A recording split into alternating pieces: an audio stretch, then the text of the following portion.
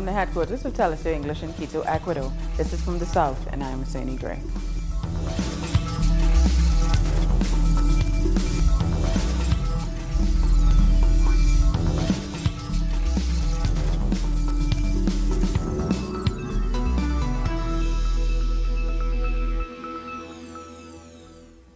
The former vice president of Ecuador, Jorge Glas, has been hospitalized. Doctors say his condition is stable, and he has been transferred to a hospital in the capital of Quito.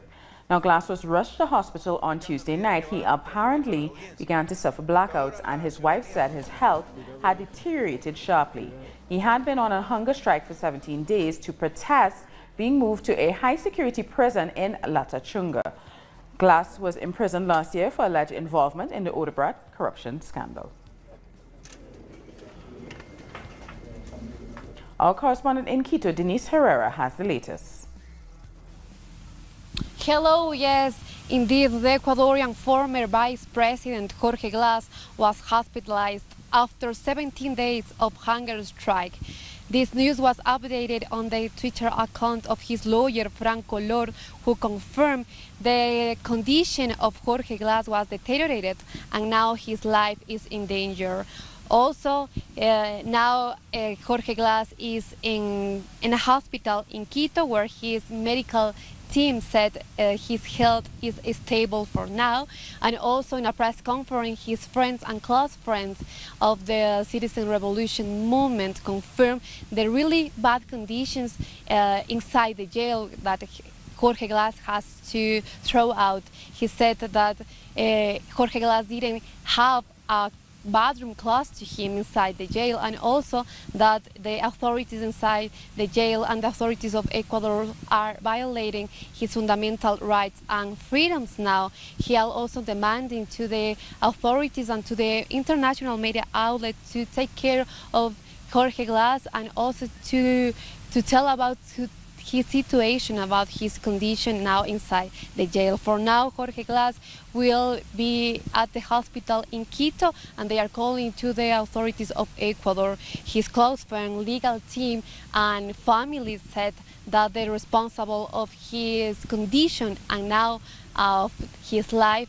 is the current government. So it's all for now. Back to you at the studio. Thank you, Denise, for that report. In an exclusive interview with Telesur, the former Ecuadorian president, Rafael Correa, spoke about what he called the plot to steal the vice presidency from Jorge Glas. If I were living in Ecuador, I would be in prison, just like Jorge Glas. I still have great solidarity for Jorge, who was trusted in the Ecuadorian legal system. We all believe in it without knowing the scope of the plot that was being planned behind the scenes. He's in prison due to the Odebrecht scandal. Let the world know, not one of those who confessed to being involved in that case were ever brought to trial. Those who paid people off, they are not even under investigation because they made a deal to steal the vice presidency from Glas and they walk away free. Jorge trusted in Ecuadorian justice and now has been in prison for nearly a year, but he's a brave man of integrity. And now he's on hunger strike because authorities decided to move him to a maximum security prison as a response to an unrelated case of another former member of my government who fled the country. Representatives of the migrant caravan in Mexico City are hoping to meet with the president-elect, Andres Manuel Lopez Obrador, on Thursday. And while the migrants say they are scheduled to do so, the government is yet to confirm the meeting. Now, hundreds participated in a session where they discussed exactly when they will leave the Mexican capital and the routes they will take to reach the United States. Now, some migrants say they wish to stay longer in Mexico City, while others wanted to continue the journey to the U.S. as soon as possible. According to Donald Trump, we are criminals. Thank God we are not criminals, and I ask him now, with all my heart, to open the doors for us. The only thing we're looking for is a better job. I'm telling Trump that we are not all criminals. Some of us are fighters for a better life, but we don't come to provoke war or harm. Let's go now to our correspondent Pablo Perez, who's at the Jesus Martinez Stadium in Mexico City, where around 5,000 migrants have taken temporary shelter before they decide their next step. Yes, we're right here at the Jesus Martinez Palillo Stadium in Mexico City, a place what uh, hosts usually uh, sporting events, but right now it's the home to over 4,000, 4,500 migrants. They have set, a, set up camp here after a strenuous walk of 760 miles uh, from the Guatemalan border, and they're taking a rest and deciding what's their next step to take. They're uh, organizing several assembly and on a, state or departamento or city level from where the where their hometowns are in Honduras, uh, so they can decide where to go next and when to leave, which is the most important. There are like two main views. We have on one hand the younger, the stronger. They want to leave right now to the northern border, to the border with the United States. And on the other hand, we have families. A lot of them ha uh, have small children or elder people that ha uh, uh, have more vulnerable health, and they want to rest. They want to regain their strength uh, before they leave to the next step on their journey. And what the, another interesting thing is there a lot of people considering to ask for refugees, uh, uh, refugee status or asylum here in Mexico, uh, as they know that uh, the Donald Trump's government are gonna make it really hard for them to obtain it in the states. So they say we don't care where we are, we don't need to be in the states. We only want a place peaceful where we can work and have a dignified life. This is the situation here in Jesus Martinez Stadium in Mexico City. We go back to you. We thank Pablo Perez for that report. Now, the first migrant caravan had a rest stop in Mexico City after a 20-day journey from Central America in search of a better life. Volunteers are helping them before they continue on to the U.S. border.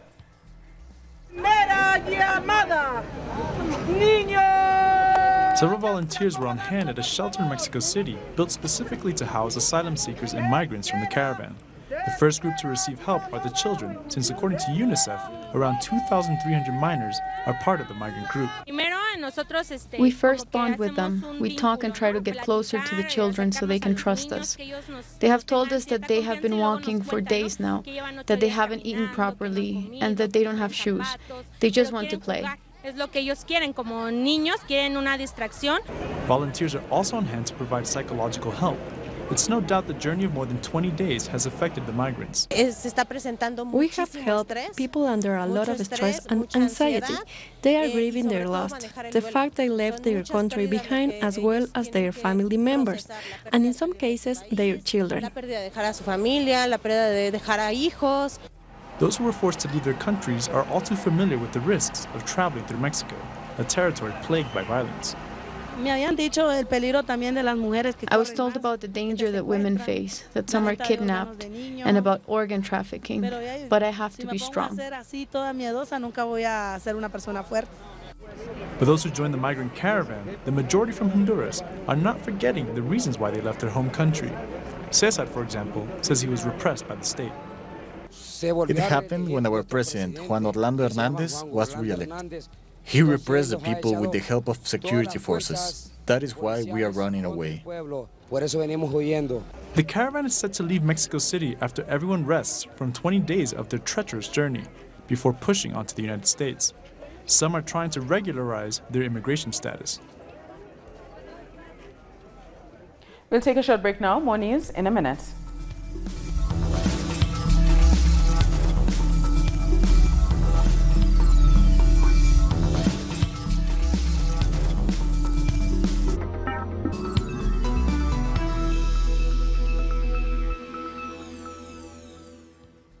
Welcome back.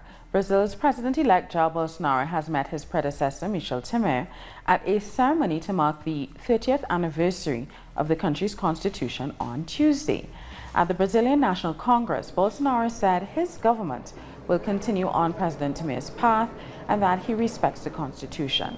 The two-day trip to Brasilia is an initial step towards the government's transition. Bolsonaro is expected to meet Temer in this regard on Wednesday afternoon. And Brazil's future Justice Minister, Sergio Moro, has said that he has differences with President-elect Jair Bolsonaro. He also spoke about the president-elect's controversial gun law. There is a proposal about the use of weapons by civilians, but that will be discussed.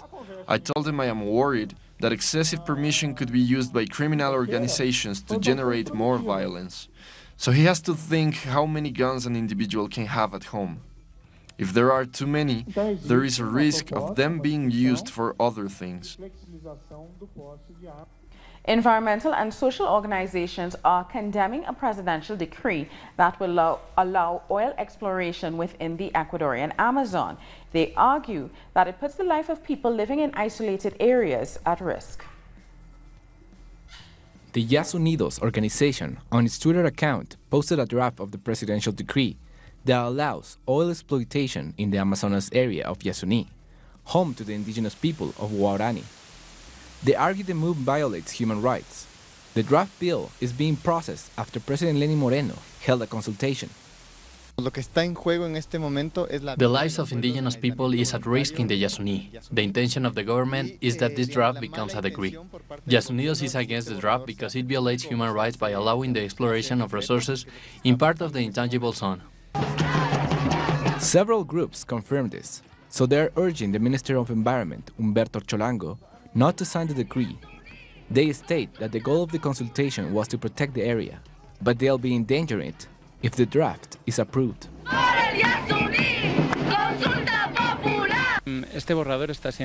This draft is anti-constitutional, and it goes against the government's own consultation. According to the director of research at the Catholic University of Ecuador, who spent years studying Yasuni, the area should not be touched because it's a place of sanctuary for the people who live there. Eh, I think the need for economic resources can have positive results, but in the long term it will be regrettable. It will be extremely negative. The problem is that the government is one thing and the society is another one, and we can't agree.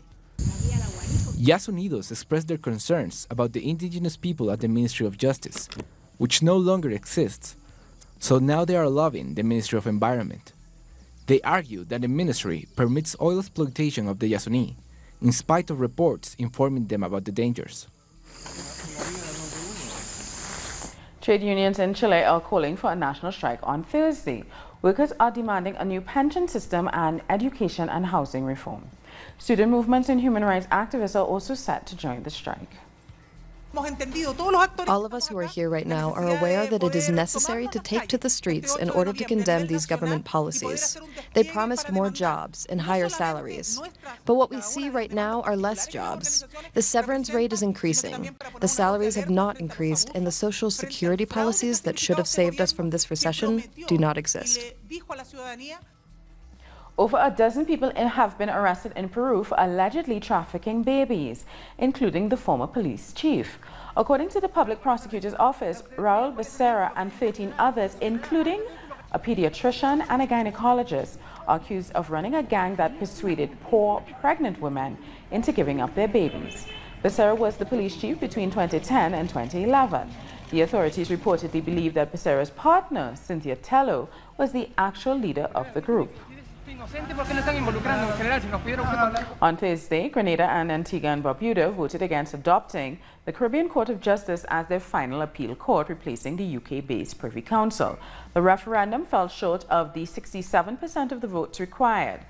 The majority of the persons who turned out to vote opted for no. Experts have argued that the Privy Council is the last vestige of colonialism in the region and as such should be removed. Oh, okay. And the president of the Caribbean Court of Justice, Adrian Saunders, also acknowledged the CCJ referendum results via Twitter. He said, while this is not what we hoped for, we respect the mandate of the people and the courts will continue with its judicial initiatives within these countries as well as throughout the wider region. Cuban President Miguel Diaz-Canel has visited the Forbidden City in Beijing during his first official visit to China. Before his visit, Diaz-Canel met with the leader of the State Council of the People's Committee, Wang Yang. The Cuban president will sign agreements on trade, renewable energy, and the Belt and Road Initiative. Next, Diaz-Canel will visit Vietnam and Laos. El Salvador's Ministry of Education is putting on a school farms festival. By doing so, it hopes to instill and develop an entrepreneurial sp spirit in students of all ages. The Orchards and School Farms initiative aims to develop skills in agricultural production.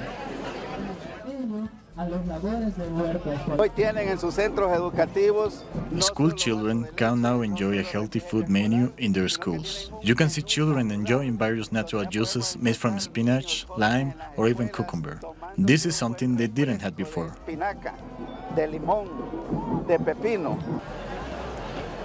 The festival took place in San Salvador's Libertad Park. Students from four different departments took part. Across the country, there are nearly 2,000 orchards and 21 school farms that benefit over 160,000 students. We are eating healthier produce. When we make our own food, we know it's clean and it has no pesticides, unlike buying stuff from the supermarket. Using agroecological techniques, young people are taught how to protect the environment and how to stay healthy. Environmental organizations provide guidance for students by teaching them how to plant native seeds and reduce the use of toxic chemicals for clean production. This shows us that this can be done. We need to teach young generations to grow their own crops and do it in a sustainable manner. We need to teach them to protect the environment.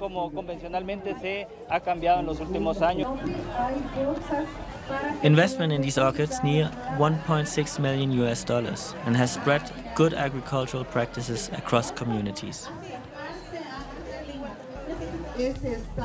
We'll take a short break now. Join us again after this.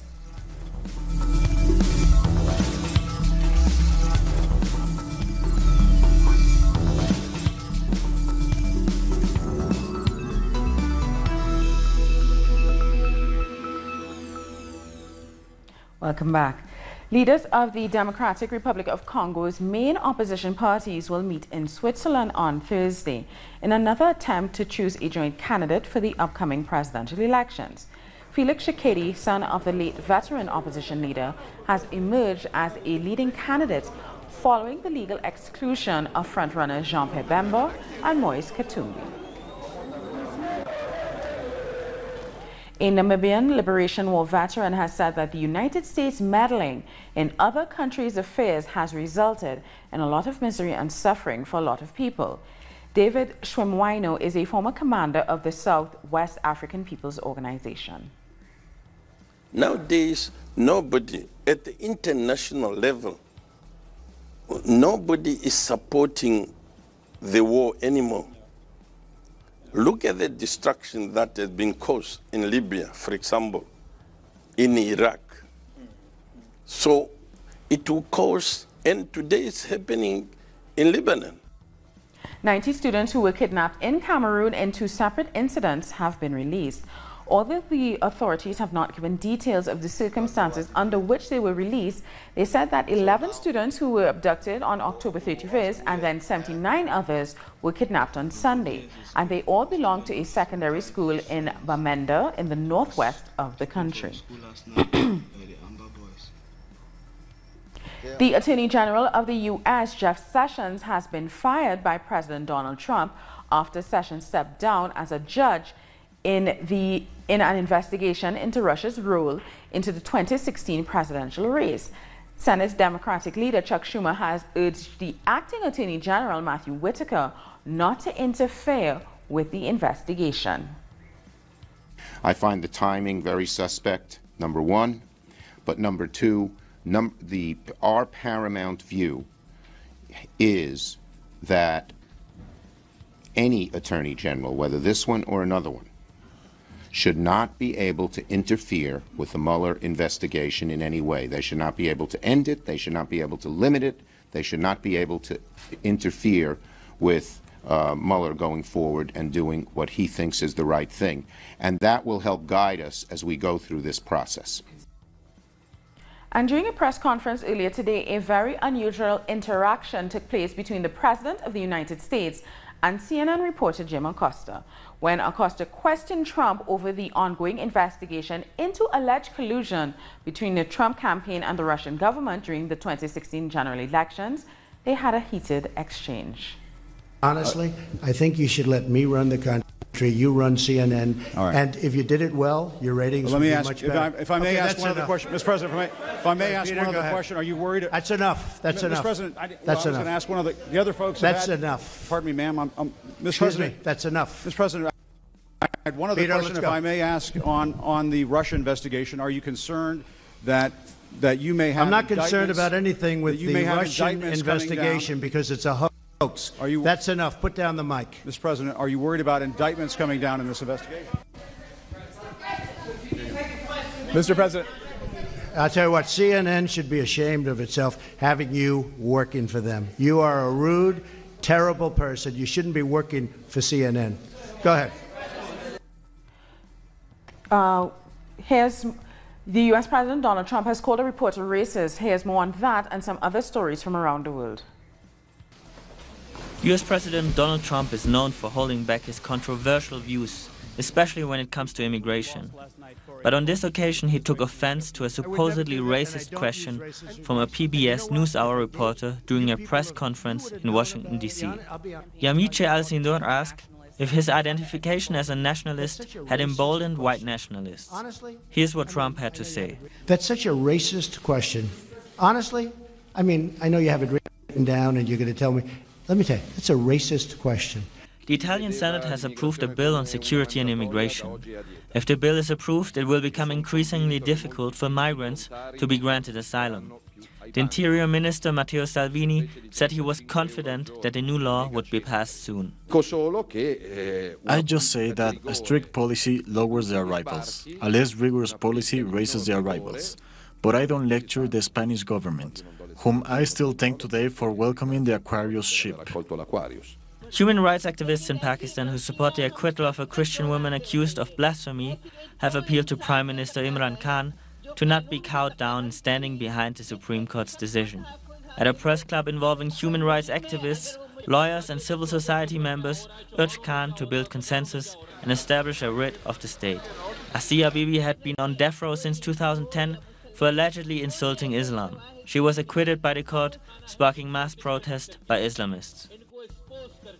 And that brings us to the end of this news brief. For these and many other stories, you can find them all on our website at telesurenglish.net. And join us on social media, Facebook, Twitter, and Instagram. For teleSUR English, I'm Soini Gray. Thank you for watching.